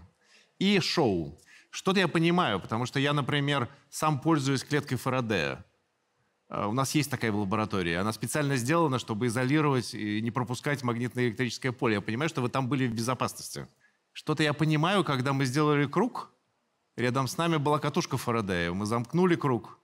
И не вы, а она навела на нас электричество. Я думаю, это было так. И мне показалось, вы даже смазали свои руки специально, чтобы замкнуть контур. Смотрите, когда мы видим 220 вольт, это может быть постоянный или переменный ток. Например, постоянный ток гораздо меньше вызывает дискомфорт у людей в 5, по-моему, раз, чем переменный. Тут много тонкостей. Сопротивление кожи, какой ток, какая частота тока. Что-то я не понимаю, потому что не помню физику. Но мне кажется, что это сочетание ваших уникальных способностей и великолепного знания физики и радиоэлектроники. Это такое мое впечатление. А как бы вы прокомментировали утверждение нашего героя, что он может сам решать, быть ли ему сейчас э, проводником электричества или не быть? Вот как можно с помощью мозга управлять проводимостью ну не знаю, кожного покрова. Мне кажется, вот это элемент шоу. Могу ошибаться, я биолог. Но мне кажется, это был фантастический урок физики. Главное, конечно, никому дома этого не повторять. О да, это вообще близко ничего, к чему- ни к чему подобному прикасаться. Хорошо. А, Оля, А, тут мне ничего не остается сделать, как все-таки поддержать профессора, несмотря на то, что я, по-моему, первый раз в жизни своей пожалела о том, что я плохо изучала физику а в школе. Что Зачем мне физика? Боже мой, я развлекательная ведущая. О чем вы говорите? Тут теперь мне бы это, конечно, очень кстати, пригодилось. извините, кто-то из великих сказал, а, единственная наука, лю- любая наука — это физика, все остальное — собирание марок. Ну, в общем, это, в общем-то, так. Просто мне кажется, что люди с такими, если бы уникальные такие существовали способности, эти люди бы не выступали тут с шоу, а уже где-нибудь были засекречены ЦРУ, сидели бы там, я не знаю, а, проводили бы какие-нибудь токи там и пытались вычислить, Не-не, Оль, ну одни ли подождите, мы мы же правда видели, как Вы наш меня герой можете, да, брался убеж- за об- обнаженные контакты, Да, Это, на мой взгляд, это ну, некий фокус. э, Просто большинство, наверное, из нас э, э, слабо понимает законы физики, не помнит, не интересуется. А есть кто-то, кто этим очень ловко управляет. Это фокус-покус такой. На самом деле у всего этого есть секрет. Мне непонятно. Лично я действительно продолжаю быть в недоумении. Жень, у вас какие впечатления? Э, вообще, пока я правда не понимаю все, что здесь произошло, либо я еще под воздействием тока. Досталось же мне сегодня вообще. прости, да. Э, В данном случае мне кажется, что это правда, э, что вы обладаете невероятным каким-то даром, приобретенным или врожденным, я э, сложно сказать, да. Мне раньше, по крайней мере, казалось, что это невозможно. Невозможно выжить, э, когда через тебя проходит такое количество тока. Да, ну, Ну, ну, предположим. это, э, ну, это невозможно. Ну, я не знаю, как это объяснить. Давайте в любом случае поддержим Бибу, потому что это правда было... Это правда было впечатляюще и заставило нас задуматься. Наташ, Я тоже так смогу. Нет, я так не смогу, я вообще боюсь ток. Я почему не пошла пробовать? Для меня это вообще как-то страшно. я просто подумал, что кто-то должен финальную отводку в передаче прочитать. Я тоже не пошел. Может быть, это фокусы и были, но вот последняя вот фишка мне понравилась, вот это вот в конце самая такая красивая, и мне понравилось. Нет, нет, как зрелище, это было Да. правда здорово. Мне понравилось Это было очень. здорово. А, мне вообще кажется, что наш гость нескольким образом, некоторым образом расстроен вашим скепсисом. Я уже даже что-то слова теряю, потому что я тоже как-то переживаю. С одной стороны, э, нет совершенно причин Бибу обидеть недоверием. С другой стороны, все, что мы видели, насколько выходит за рамки привычного. Ну да. а, Жестко. что, ну, как-то так сразу во все это да, нырнуть невозможно. Биба, вы удивительный человек, правда, удивительный человек. Спасибо вам большое. Анна, спасибо вам за помощь. Вам Это спасибо. было очень впечатляюще. Спасибо. Спасибо вам.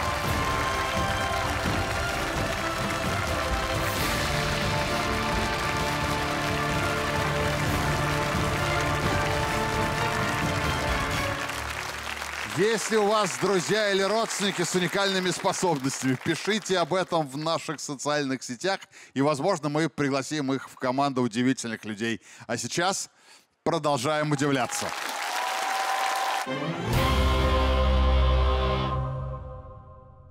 Наш проект с успехом идет не только в России, но и более чем в 10 странах мира. Мы с зарубежными коллегами думаем о глобальном международном турнире удивительных людей. И сегодня сделаем первый шаг к такому планетарному формату. Ведь сегодня в нашей студии пройдет поединок двух супергероев, обладающих талантом стереоскопии. Встречайте, представитель России, участник первого сезона Евгений Дубин и участник итальянского шоу «Супермозг» Франко Дженготти.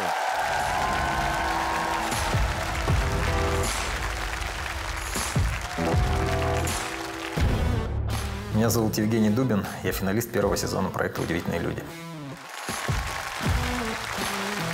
У меня шок. У меня просто вот больше нет слов. Браво. Спасибо огромное. Привет, я Франко. Мне 54 года. Я из Италии. Я эксперт в области стереоскопии и 3D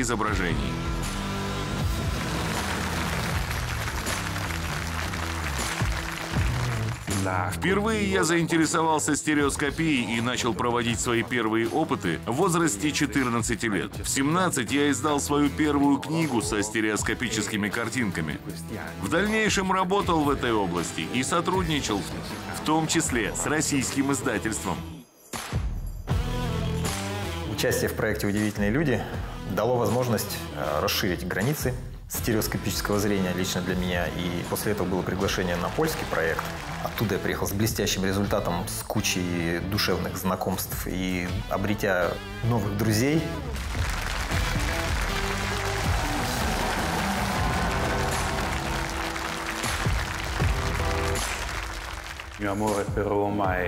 Я очень люблю Рим. Много лет назад я придумал проект 3D-кинотеатра.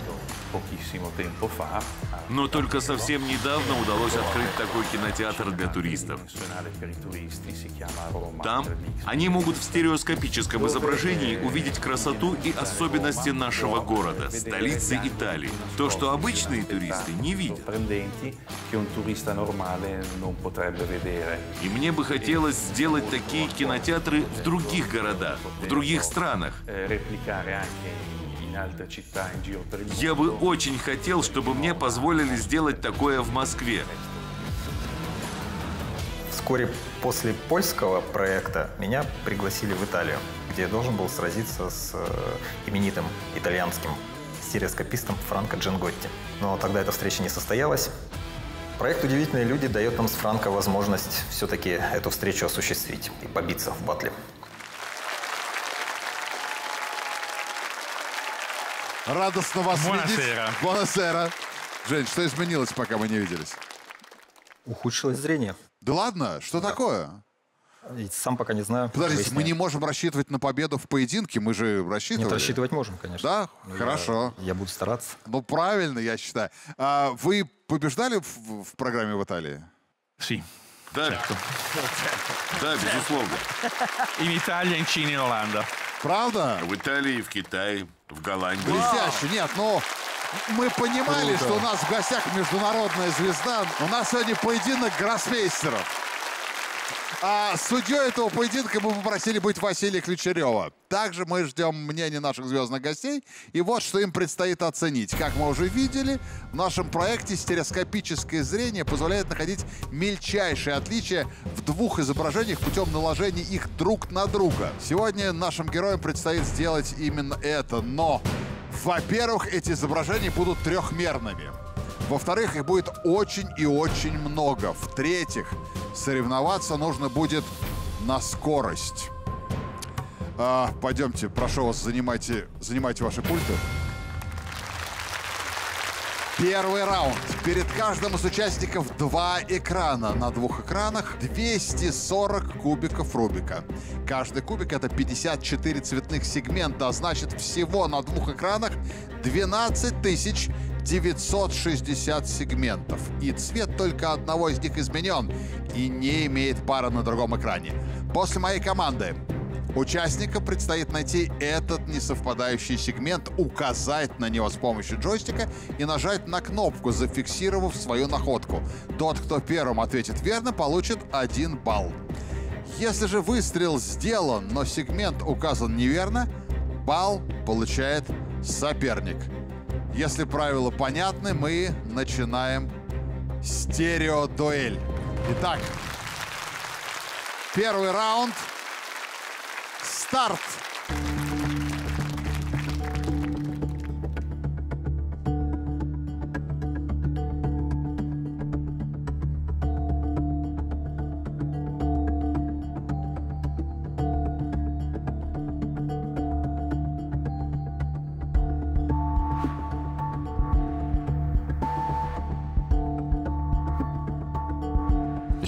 Что можно совместить, как можно заметить это какие-то грани, которые отличаются.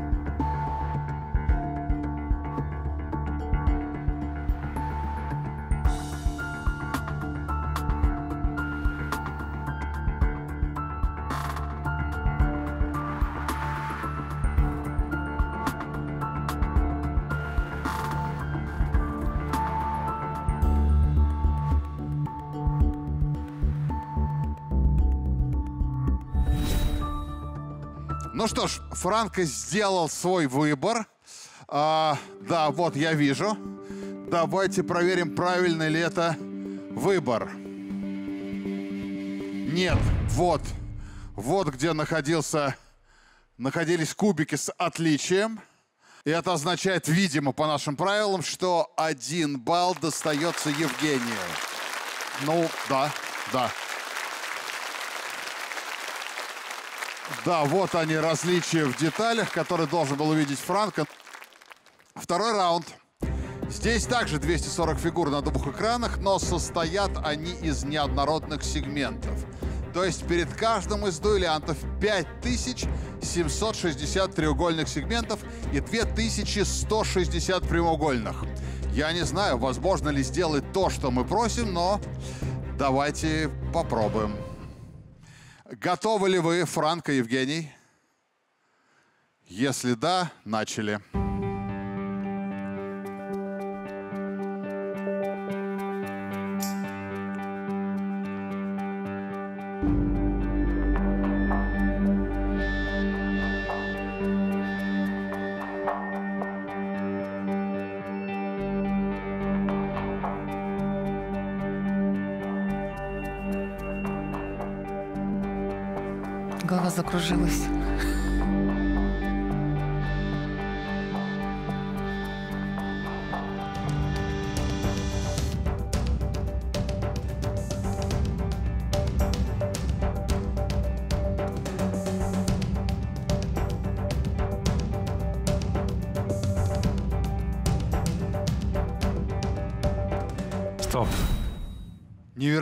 Невероятно. Невероятно, потому что мне кажется, что вообще что-то определить вот в этом наборе вращающихся фигур вообще нереально. Там абсолютно крошечные цветные сегменты. Но выбор сделан.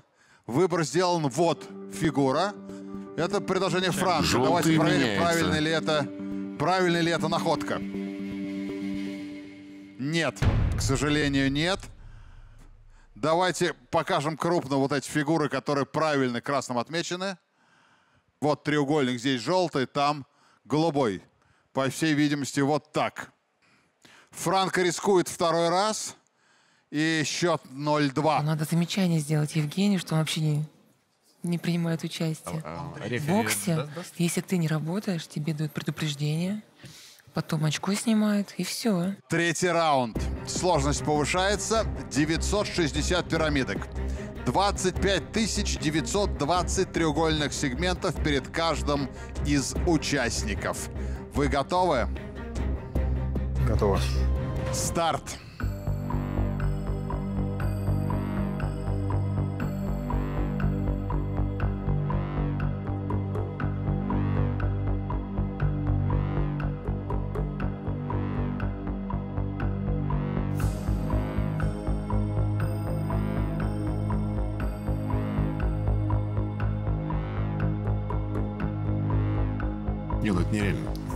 Конечно, нереально. Извините, два не сделали. Я так думаю, надо до утра настоять, искать, и не найдешь.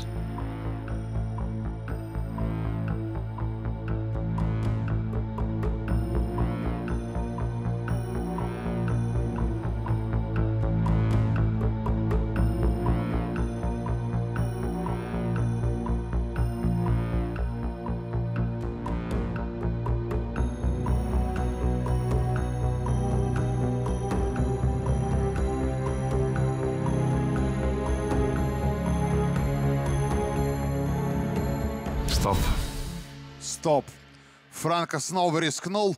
Если Франко сейчас ошибается, сейчас становится 0-3, и поединок заканчивается. Но вне зависимости от результата я восхищен Франко. Но давайте посмотрим, правильный ли это выбор Франко. Итак, да, и, и это правильно. И это... Покажите давайте фигуры крупнее.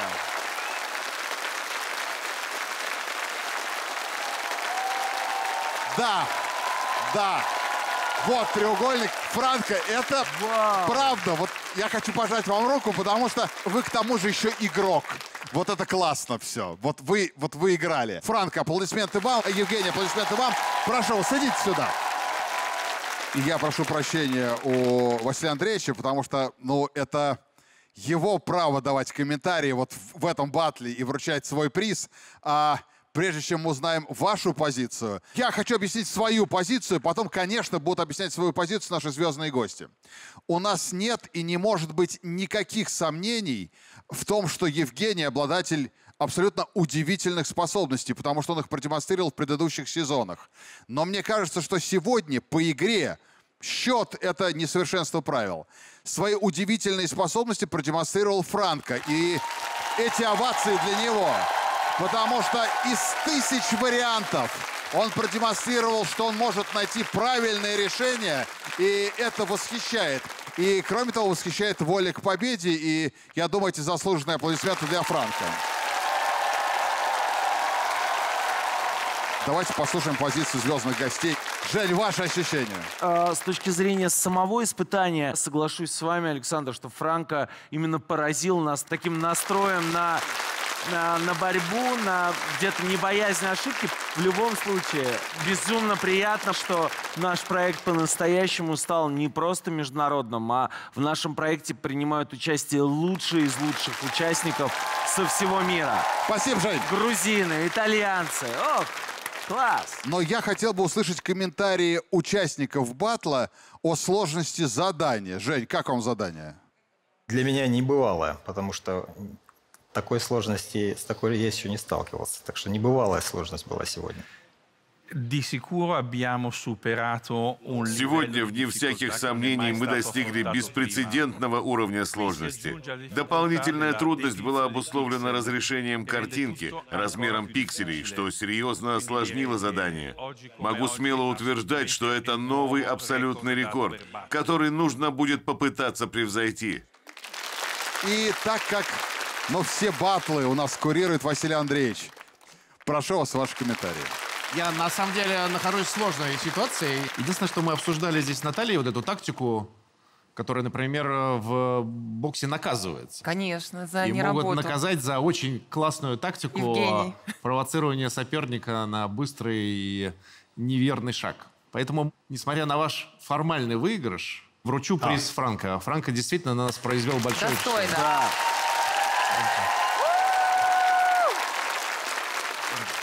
It's, uh, it's fantastic. Thank you very much. Thank you very much. Большое спасибо. Мне кажется, что этих аплодисментов, конечно, достоин Франко. Но, конечно, достоин и Евгений. Мы рады его видеть, как рады видеть всех участников наших предыдущих сезонов. Аплодисменты вам. Спасибо вам большое за доставленное удовольствие. Евгений и Франко – удивительные люди. Спасибо вам. Спасибо. Спасибо. Спасибо. Buonasera, buonasera Franco. В следующих выпусках нас ждут новые поединки удивительных людей. Ну а мы продолжаем.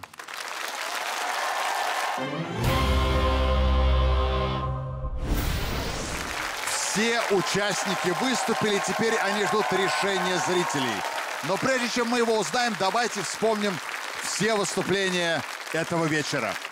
Ювелирно погрузил бокалы Олег Антошкин. Вижу уже некоторый изгиб башни, и это вызывает волнение.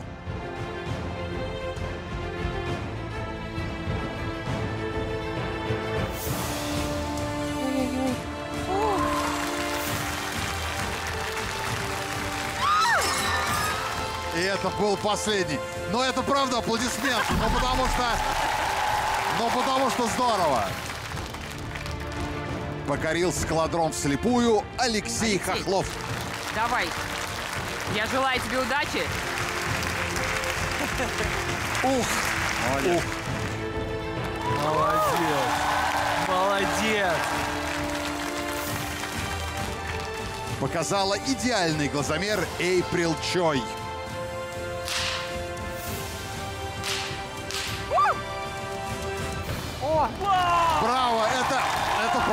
Потрясающе? Такая снесет не Ноя рояль на пятый этаж, такую встретишь ночью, сам часы отдашь. Собрал головоломку под водой Вако Марчелашвили. Это потрясающе! Удивительный человек! Меньше двух минут и почти две минуты без дыхания. Это, ну, правда, потрясающе. Провел ток через себя Биба Струя. Сосиска. Зашипела, мать честная. Пошел дым от сосиски.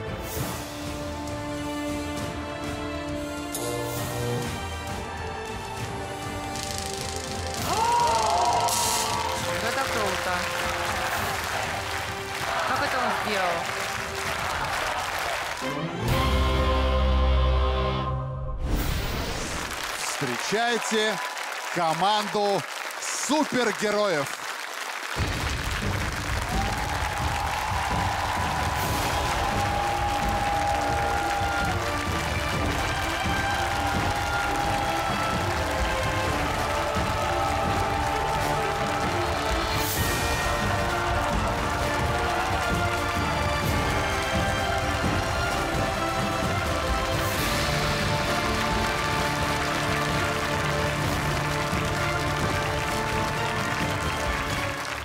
Итак, удивительные люди перед вами. И прежде чем их судьбу решит зрительный зал, я хочу дать слово нашим звездным гостям. Возможно, ваше мнение повлияет на тех зрителей, кто еще не определился.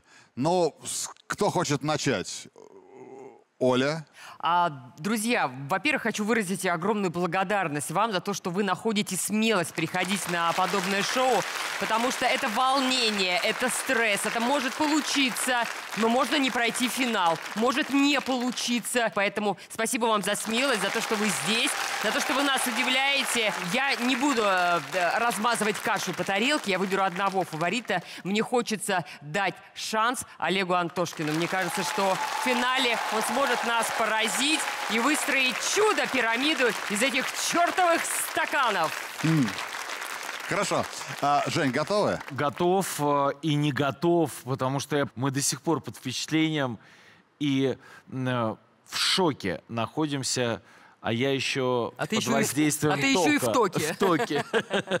Вот даже прям первый раз, вы знаете, первый раз за четыре сезона я э, сомневаюсь. Ну, Биба, наверное, да. Ну, потому что, с одной стороны, Ну, вроде кажется что? нереально, но как же сосиска жарилась? Почему пальцы не поджарились у Бибы? Все верно. Спасибо, Жень. Наташа, готовы? Конечно, готова, всегда Прошу вас. готова. Так, друзья, вы все герои сегодня. Это абсолютно даже не обсуждается. У меня нет слов, одни мысли. Сижу, думаю, как вы это все здесь вообще тут сделали. Вы все герои, но я выбираю героиню. Если что, извините. Прекрасный, прекрасный выбор, Наталья. Конечно, как вы Прекрасный. думали, плетка, все дела. Да, я, я- я понимаю, я понимаю. А, спасибо большое, Василий Андреевич. Ну, мне кажется, один из самых сильных дней. Все было невероятно интересно. И Биба потряс и заворожил. Может быть, не убедил, но это было феерично. И April, это, наверное, был самый красивый номер. Но все-таки у меня в топе Алексей. Это было просто очаровательно и невероятно. И я присоединяюсь к тем, кто хотел бы увидеть, можно ли все-таки выполнить это невероятное задание. Я бы пригласил в финал Олега. Спасибо. А теперь слово за народным жюри. Я прошу всех вас взять в руки пульты для голосования и отдать свой голос за одного из пятерки. Я объявляю голосование открытым.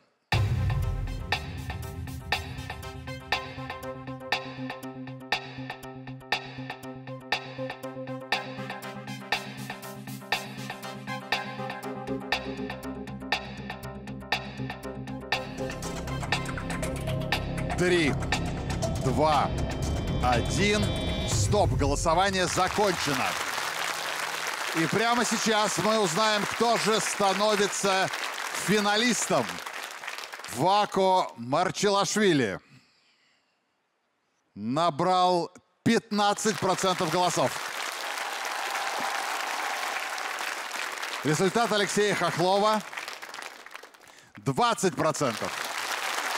Олег Антошкин получил 29% голосов. Эйприл Чой 12% голосов. И результат Бибы Строя 24% голосов. А это значит, что победителем сегодняшнего выпуска и финалистом нового сезона становится Олег Антошкин.